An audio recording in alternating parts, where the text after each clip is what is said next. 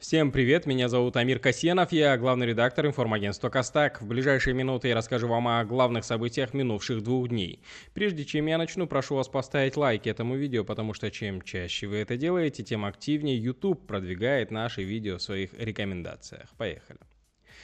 Тело топ-менеджера Lenovo Ермека Жакибжанова нашли на окраине поселка в Алматинской области. 10 октября на окраине поселка Утигим-Батыр, это под Алматы, Илийского района, с признаками насильственной смерти обнаружен труп 42-летнего мужчины, без вести пропавшего в Алматы днем ранее, отметили в пресс-службе Департамента полиции Алматинской области.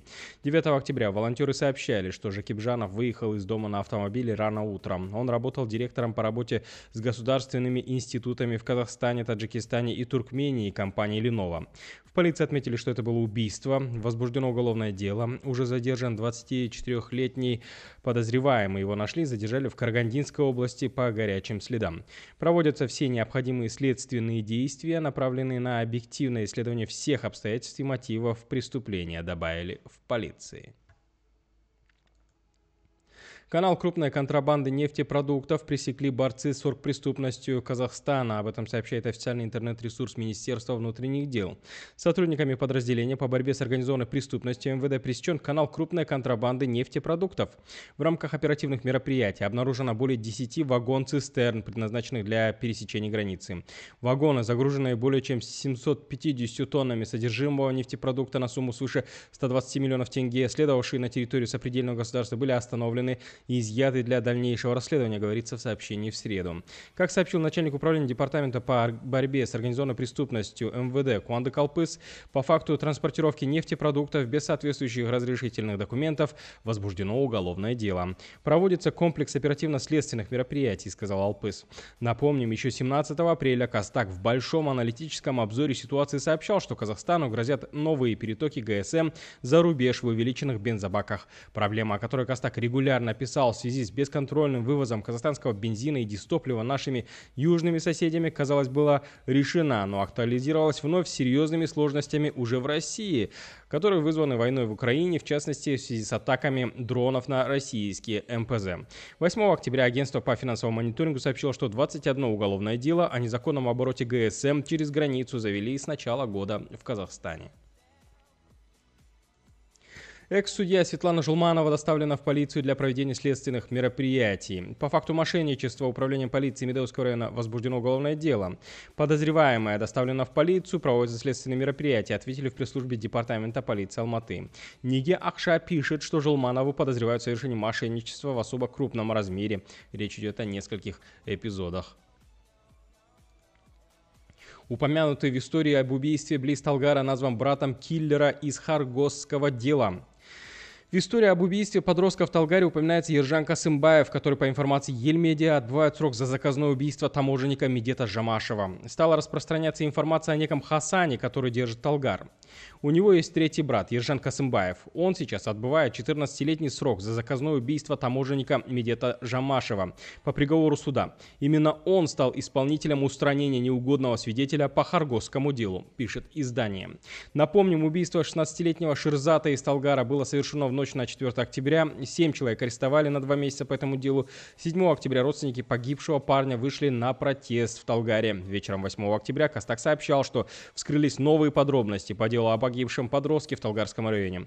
Тогда же полиция заявила о наличии видеозаписей с места резонансного убийства. Источник Костак сообщал, что по этому, делу, по этому резонансному делу намерен добиваться максимального срока наказания для фигурантов. Подозреваемых в убийстве 16-летнего Шерзата из Талгара причисляют к местному ОПГ Хуторские.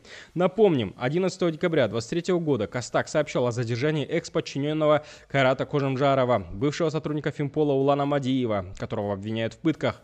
Редакция тогда уточнила, что громкое харгосское дело получило продолжение. В информации о пытках, которые вменяют бывшим подчиненным экс-сенатора, в числе прочего упоминаются изнасилование девушек, которые стали подозреваемыми по харгосскому делу. В материалах фигурируют имена Мадиева, бывшего высокопоставленного сотрудника Фимпола Талгата Татуба, Чубаева, один из ближайших протеже экс-сенатора Кожемжарова, и экс-главы департамента Фимпола по Алматинской области Сергея Потанина, которых Кожемжаров продвигал по карьерной лестнице. Примечательно, что если Мадиев, Татубаев и бывший начальник департамента АБЭК Палматы Максат Дусенов просто названы выгодополучателями контрабанды на Харгосе, то сам Кожамжаров называется главным выгодополучателем указанных криминальных схем. 15 декабря 2023 года возобновлено расследование по громкому Харгосскому делу. Подтвердилось официально, а уже 9 января 2024 года Костак со ссылкой на источник сообщил о задержании еще одного экс-подчиненного Кожамжарова, бывшего сотрудника Алматинского городского департамента Фимбола Кинжибая Жумабекова. Данное задержание тоже подтвердилось позднее официально. Он считается близким другом агента Фимпола Талгата Махатова, который упоминается в материале газеты «Время» про высокопоставленного полицейского Нурлана Амамбека. Незадолго до публикации материала о задержании Мадиева Костак приводил информацию о том, что экс-прокурор Наурзбайского района Алматы Виктор Тихонов, осужденный по сфабрикованному делу и оправданный Верховным судом, указал на вероятную косвенную причастность подчиненных Кожемжарова к громкому убийству ключевого свидетеля по Харгосскому делу. 11 января 2024 года Костак сообщал, что раскрыты детали касательно данного убийства. 1 марта Костак сообщал, что экс-подчиненные Кожамжарова дали признательные показания по Харговскому делу. 9 апреля стало известно, что исполняющий обязанности заместитель начальника департамента полиции Нурлан Амамбек был пособником сотрудников Комитета национальной безопасности и оказался связан с уже небезызвестным Махатовым. Незадолго до этого, 29 марта, Костак сообщал, что в отношении высокопоставленного полицейского Нурлана Амамбека было возбуждено уголовное дело. 18 марта Костак сообщил, что свидетель по уголовному делу о заказном убийстве таможника Медета Жамашева Талгат Карабаев назвал суммы взяток, которые передавались руководству агентства по борьбе с экономической и коррупционной преступностью АБЭК Фимпол в период, когда совершались преступления в рамках громкого Харгосского дела. 19 июля 2024 года в суде по делу о заказном убийстве прозвучали откровенные показания про экс-сенатора Кайрата Кожамжарова. Ну и сама эта история с убийством подростка в Талгаре очередное доказательство того, что этот гигантский спрут, который охватил Казахстан, и крепко продолжает его сжимать, продолжает убивать. И если вот, ты, вот эта вот группировка, которая сейчас находится под арестом, это, возможно, одна из присосок на щупальце этого спрута, то щупальца, одно из щупалец этого спрута условно можно назвать э, группировка Кожамжарова. Условно, условно. Есть еще другие щупальца. Например, одно щупальце можно назвать, а, допустим, группировка Нигматулиных. А голова у этого спрута одна. И эта голова продолжает жить, извлекать прибыль, извлекать дивиденды от того, что делают его щупальца на территории Казахстана. Хотя живет эта голова, возможно, не в Казахстане уже даже. Около 50 силовиков осудили за пытки в течение года в Казахстане. Об этом сообщает аппарат уполномоченного по правам человека. В 2023 году за пытки осуждено 47 сотрудников правоохранительных органов. Это больше, чем за предыдущие три года в сумме. Это говорит о том, что политика государства, направленная на искоренение этого явления, реализуется успешно, говорится в сообщении в среду по итогам сайт-ивента на полях Варшавской конференции по человеческому измерению Бюро по демократическим институтам и правам человека БДИПЧ Организации по безопасности и сотрудничеству в Европе ОБСЕ, проведенного омбудсменом Артуром Ластаевым. Как отмечается, всего за последние пять лет привлечено к ответственности и осуждено 162 должностных лица. Также с прошлого года медицинское обслуживание заключенных передано Министерству здравоохранения, что исключает ведомственную заинтересованность при фиксации пыток. Сейчас под мандатом находятся 79 учреждений уголовно-исполнительной системы, в которых содержится более 38 тысяч заключенных. В итоге количество заключенных, получивших медицинскую помощь, увеличилось вдвое.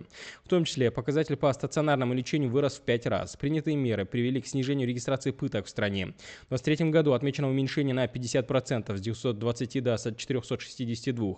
За 8 месяцев 2024 года на 21%, с 315 до, 2000, до 219. Предыдущие же 5 лет ежегодно регистрировалось по 600-700 заявлений, сказано в сообщении. На 1 миллиард 826 миллионов выросли валовые резервы Казахстана за сентябрь. Об этом сообщает Нацбанк. На 1 миллиард 826 миллионов или на 4% до 44,5 миллиарда долларов выросли валовые резервы Казахстана за сентябрь 2024 года, следует из отчета Нацбанка, опубликованного на официальном сайте регулятора в среду. Активы в валюте в валовых резервах выросли за сентябрь 2024 года на 4,7% до 20,2 миллиарда долларов. Активы в золоте на 3,9% до 24, 24 миллиардов долларов.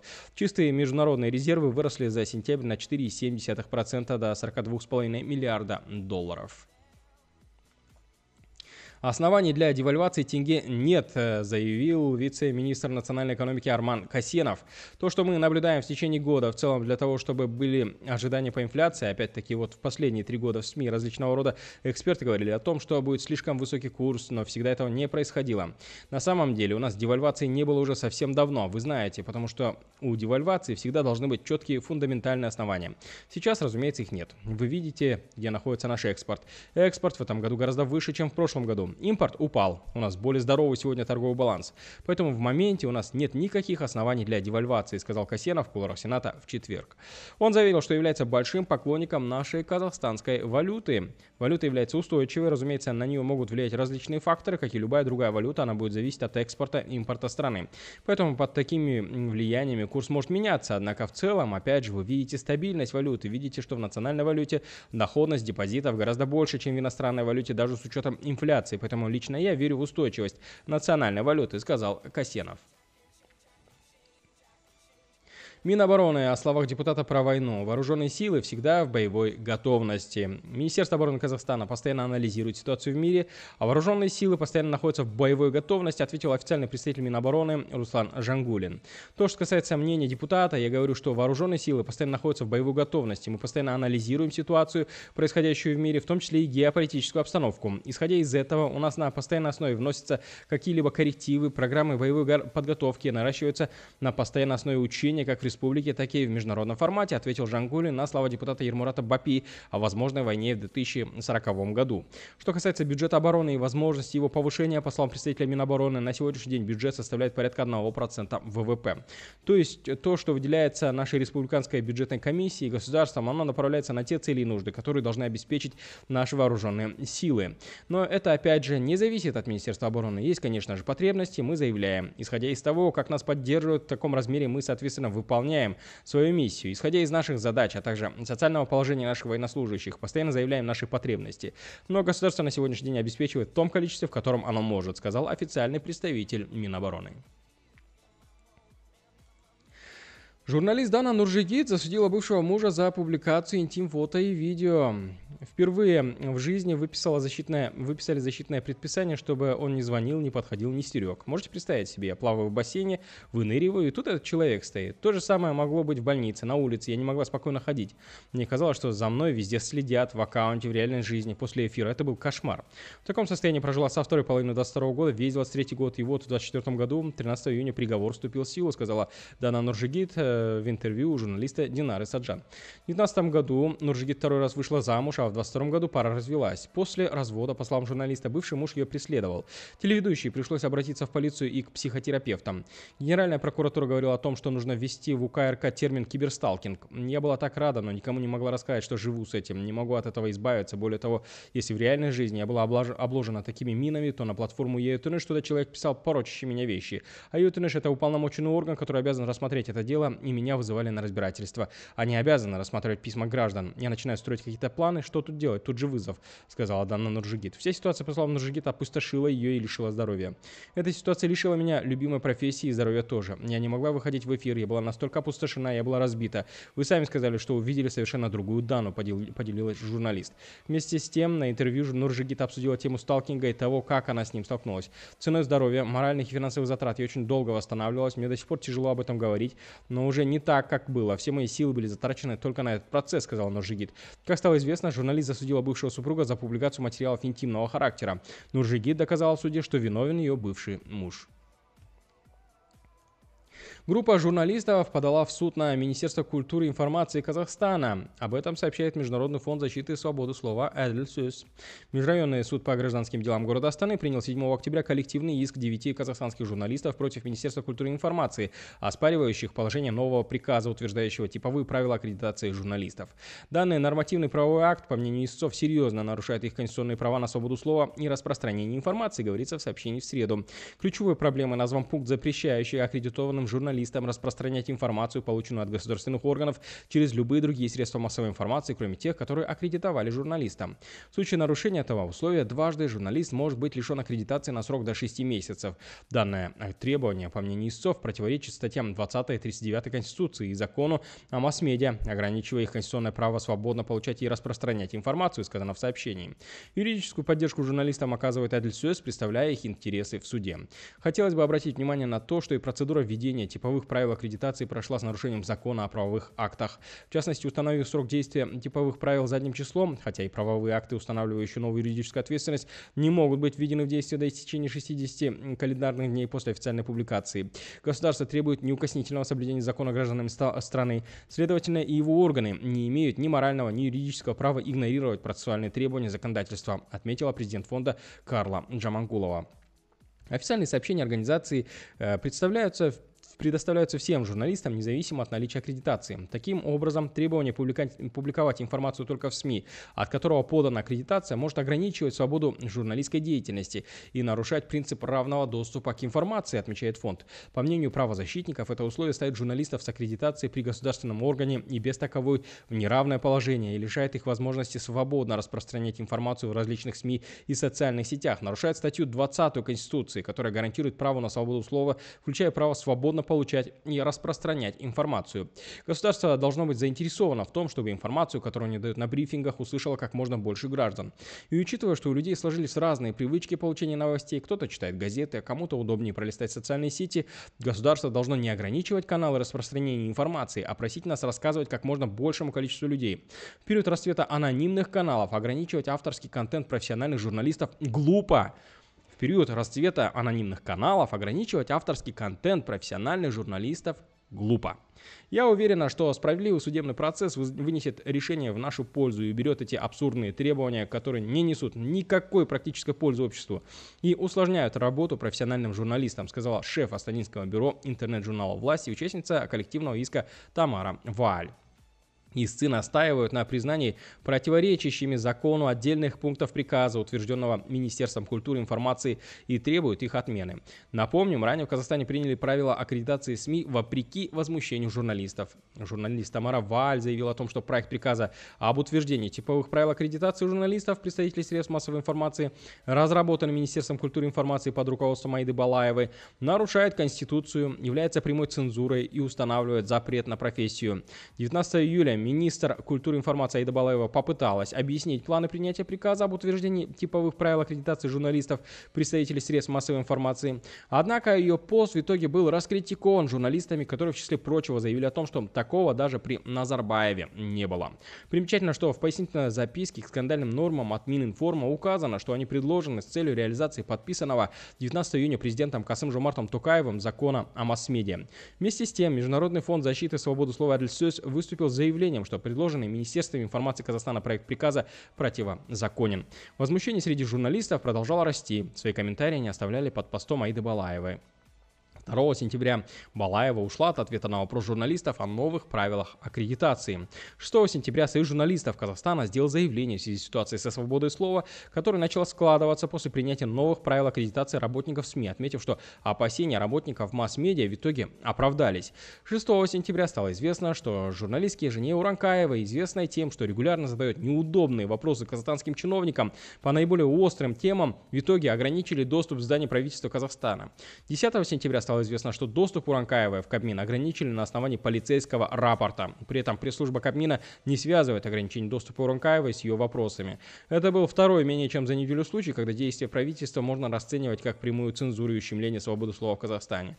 Так, 2 сентября Костак сообщал, что журналистам не позволят записать членов правительства по итогам их заседания по посланию президента Касым Жомарта Тукаева. 10 сентября выяснилось, что журналистам на входе в здание правительства предложили ознакомиться с выпиской из правил, касающихся работы СМИ в здании здании Кабмина. Однако не раскрыли детали того, куда именно запрещено ходить работникам масс-медиа в Кумет ИЕ. 19 сентября стало известно об урегулировании ситуации с Уранкаевой. Такими были, на мой взгляд, самые интересные новости минувших двух дней. Я желаю вам удачи и только хороших новостей. Чтобы не пропускать следующие выпуски, подписывайтесь на нас. Для этого жмите на колокольчик, чтобы он стал сереньким и будете получать соответствующие уведомления. Конечно, лайкайте это видео, делитесь им. Это тоже очень сильно помогает продвижению нашего канала. Я желаю вам всем добра. Всем пока.